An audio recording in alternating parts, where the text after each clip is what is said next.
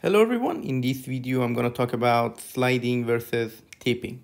Let's say we have a box here and we are going to move the box. If I apply load at the top, what happens? It probably tips. What happens if I apply the load on the same box, but this time more toward the bottom? It probably slides. So whenever we are talking about tipping, we are talking about the summation of moment, whether the summation of moment is zero or it's not zero.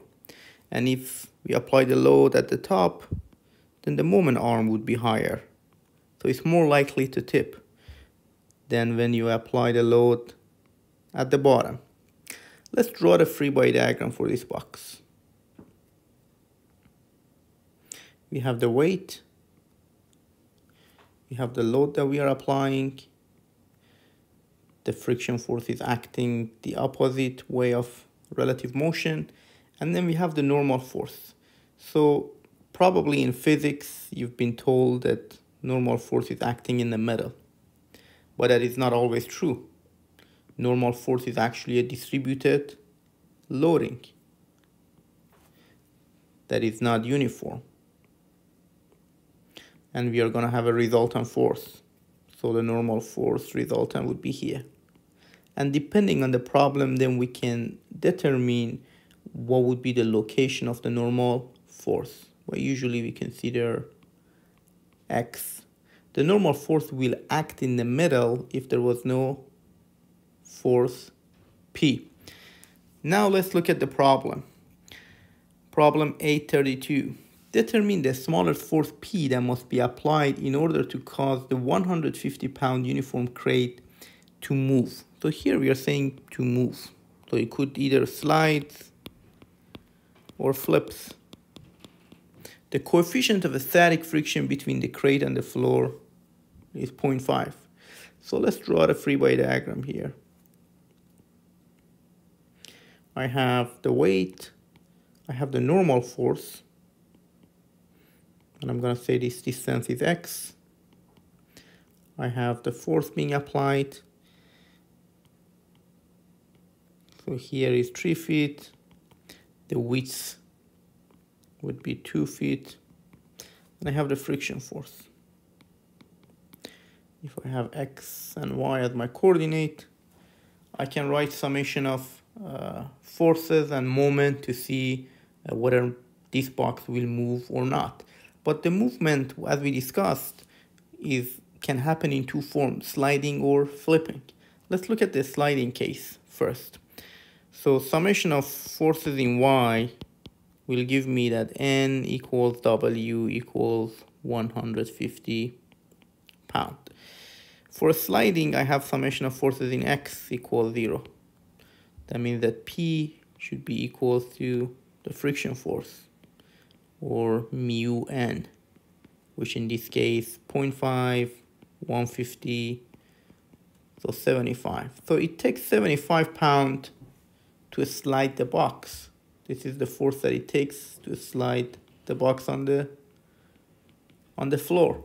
But will the box flip or tip before we reach that load? We are going to find it out by our, our third equilibrium equation, summation of moment. To make it easier, I'm going to take a moment about this point, point A, because then I get rid of the force W and the friction force. And then I will have a, a balance between the normal force and my force P. So if I write the summation of moment about that point equals 0, the moment of force P would be 3, and the moment for force N would be nx.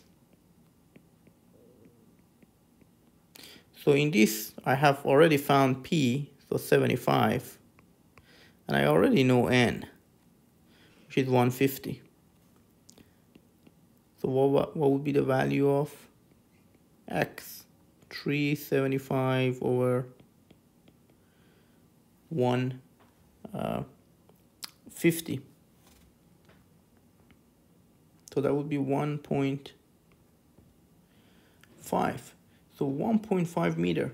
Let's go up to our problem and see what does that mean. The width, the total width is 2 feet and x is measured from the middle. So 1.5 would be beyond our box and that's not possible. So if we apply 75 pound, we might satisfy our equilibrium equation for summation of forces in x, but the moments will not be zero. So because x is bigger than 1 meter, half of the width, or we can say x is bigger than w over 2, therefore the box flips. So we know that the box flips, but what would be the force that it would take, make the box to tip? So let's see if we can find that force. So summation of moment about point A equals zero. But here we don't have the force. We want to find the force that it takes for our box to tip. So we have P, I'm gonna call this pip, tip, the force that it takes to tip the box. The moment arm is the same, minus N have the value of n and then for x a maximum for to get the maximum resistance n x can be one meter. If this is two feet x could be one meter a max. So I have to put in one meter here equal zero. This is 150 pound. So I can find the force that it takes to tip the box which would be 50 pound so the force that it takes to move the box was 75. P to slide the box was 75 pound. And to tip the box was 50. You can see that we reached this one first. So the box will tip with 50 pound. So the answer to the question that it says how much force it takes to move the box, that would be 50 pound. And if you want to identify whether the box tips or slides, you have two way. One is that to find the force for sliding, find the force for tipping, and then see which one is smaller. Or go by sliding and then find the x value. And if x value is more than the half of the width, that means that it can resist because the maximum resistance comes when n is at the edge and we can't go beyond that.